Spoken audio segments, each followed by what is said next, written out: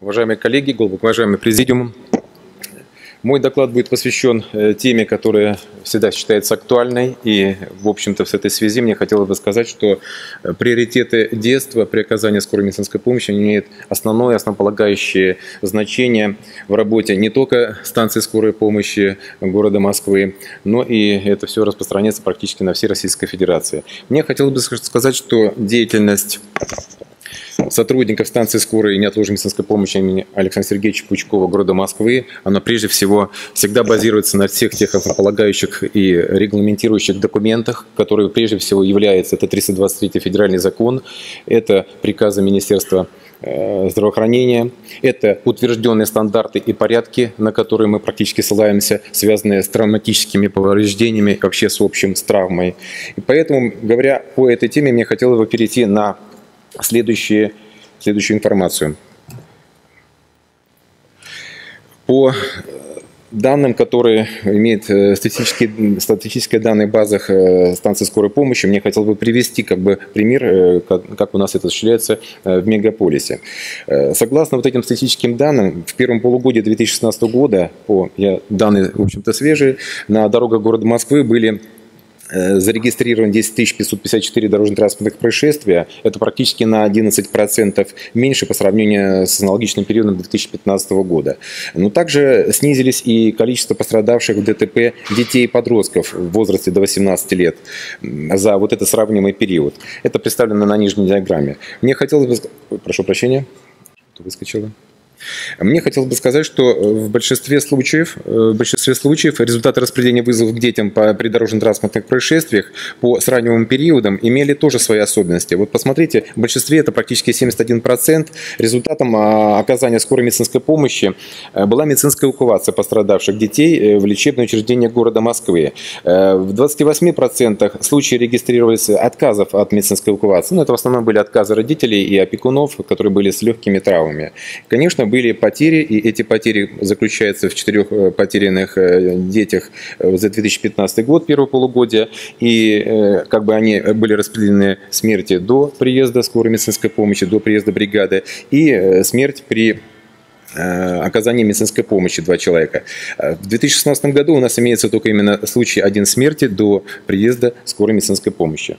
Значит, э, в продолжение. Я хочу сказать, что, в общем-то, данные, которые связаны с некоторыми статистическими показателями по количеству дорожно-транспортных происшествий по административным округам, мы видим, в общем-то, Южный административный округ и Западный административный округ, где максимальное количество проживает населения, практически около тысяч, миллиона 700 тысяч э, в Южном административном округе и в Западном. Это спальные районы, поэтому э, эти данные представлены таким вот образом. Конечно, мы сравнивали не один год, и практически сохраняется такая же тенденция по распределению выездов бригад скорой помощи по дням недели и случаев на ДТП в городе Москве. Вот по представленным данным практически мы видим конец недели, когда действительно идет максимальное количество машин, максимальное снижение внимания может быть. И, естественно, это практически знаменуется по многим годам, без всякой какой-либо динамики. Если говорить о сезонности, то, в общем-то, э, данные практически по предыдущим э, сравниваемым периодам всегда у нас знаменовались. Это конец апреля, это большая плата, когда, в общем-то, практически дети разъезжаются в летний период э, в отпуска, на каникулы, в лагеря и так далее,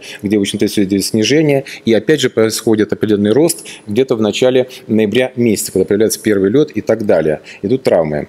Э, хотелось бы сказать, что оказание скорой медицинской помощи детям на этом этапе начинается с именно работы оперативного отдела станции. И здесь мне хотелось бы сказать, что, в общем-то, это обеспечивает как раз э, служба круглосуточную централизованный прием вызовов в городе Москве, незамедлительную передачу их выездным бригадам скорой медицинской помощи, это оперативное управление и контроль за работой выездных бригад.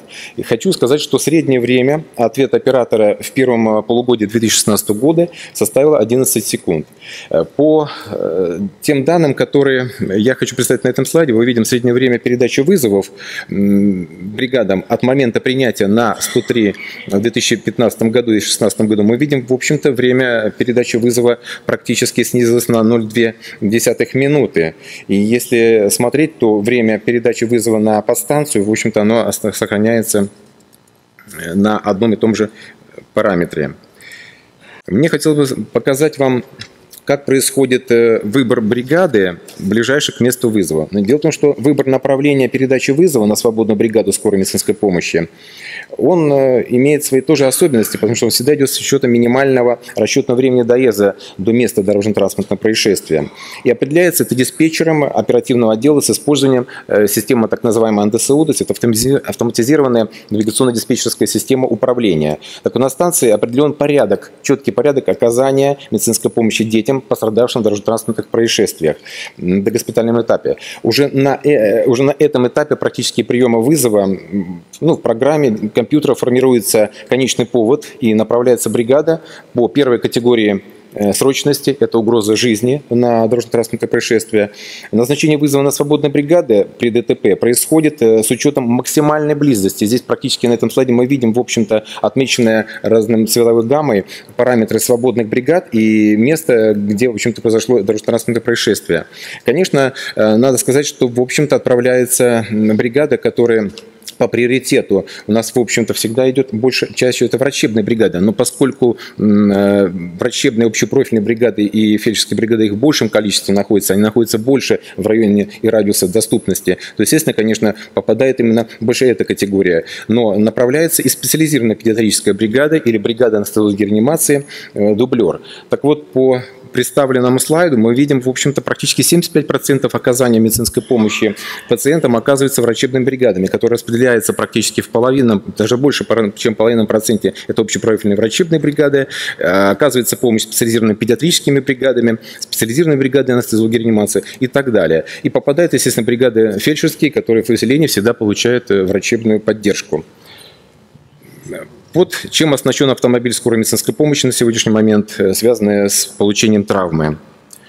Э, среднее время прибытия бригад скорой медицинской помощи на дорожно-транспортное происшествие имеет тоже свои особенности. Если мы будем говорить о этих параметрах, то, в общем-то, надо сказать, что это есть четкая динамическая тенденция к снижению. Мы учитываем ту сложность э, той э, магистральной трудной доступности и э, трафики, который всегда претерпевает бригада при эм, при доезде до того или иного места дорожно-транспортного происшествия. Но тем не менее, практически все мероприятия, которые проводят сейчас и администрация, и коллектив станции, мы практически справляемся с этими вещами. Если вы видите, в общем-то, по представленным данным, мы видим, что все вызовы, которые здесь распределены вот этой вот э, салатовой гаммой, вот экстренные взрослые вызовы, и вот дети, которые являются в мы видим, что сейчас практически мы доезжаем на место ДТП 7,8 минут. Это, в общем, достаточно такой динамический, снижающий параметр времени